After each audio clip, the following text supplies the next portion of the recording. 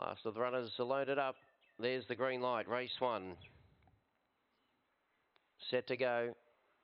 Ready. Racing, Miss Eloise on the inside came out quite nicely. Two ends, the reserve shows pace, so it's two ends, just the leader from Miss Eloise. Booting up on the inside, got checked. Going around them was Hook Along Poppy, then Dark on Lass, and then for the back, Galway Lights getting a run through on the inside. It's a reserve, two ends at a massive price just in front, but Miss Eloise has grabbed it, and then flying was Braemar Tatiana. I think Braemar Tatiana's beaten Miss Eloise and two ends and then it's very close for other positions. Close up dark on uh, Lass with Galway Lights, Christy Coy, and Splish Splash and Hook Along Poppy. And the race time is about 1877.